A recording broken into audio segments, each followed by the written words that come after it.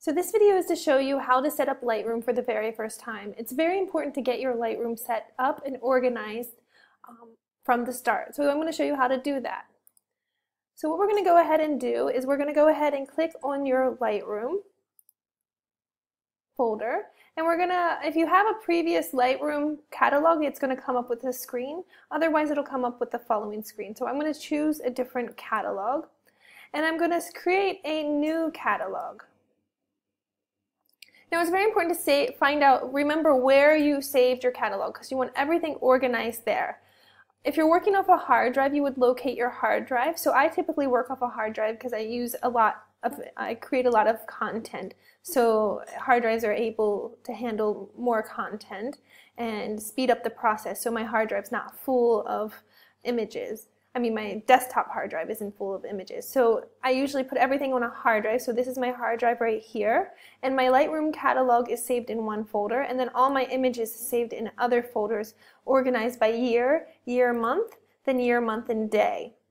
So what we're going to do for you is if you don't have a hard drive, you can go ahead and save it on your desktop. I mean, on your computer. So you can go ahead and find your pictures folder on your on your Mac. It's in your on your, in your hard drive under pictures. And then you can go ahead and save it here. So I'm going to save it as my name. If you're working for the Career Practicum program here at AC, you can go ahead and save your as your name and hit create. And let's go ahead, it's creating my, catalog, my Lightroom catalog now. And let's go ahead and check. So if I go to pictures, I go to Shannon and I go to my pictures folder, here it is. And this is your Lightroom catalog. So everything's saved here. Now what we're going to do is inside pictures, we're going to go ahead and save your files. So you want to make sure before you start that you don't have any other, other, other anything else here.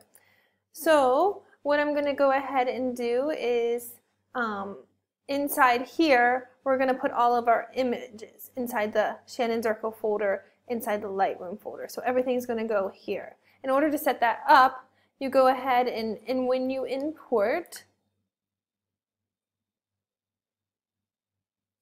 you click your images and you're going to go to the bottom right and where you save it. So this is where I'm going to have to go ahead and find that folder. It's going to be in users, Shannon, pictures, and then I'm going to save all my photos here. And I'm going to make sure that into subfolder isn't selected and it's organized by date. And it's this one is the one that's selected year, then year, month, then year, month, and day. And then you're going to click import. And when I do that, what it'll do is it'll save, put all of the images inside that where I selected the folder, photos. So now you have an idea of exactly where the photos are saved. And so if we go back to Shannon and I click pictures, it's going to be inside this folder and it'll be by year, then year, month, and day. And this keeps everything organized and content created. Now when you put all your, your photos here, you never ever want to edit your photos. So for instance, let's me go back to my hard drive because that's already set up and organized. If I go back to here, I never ever want to click any of these and reorganize them. I don't want to drag it to another folder. I want to do that within Lightroom because it'll become unlinked within your Lightroom catalog.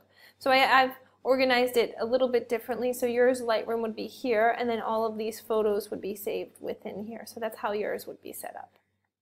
All right, so I hope this helps.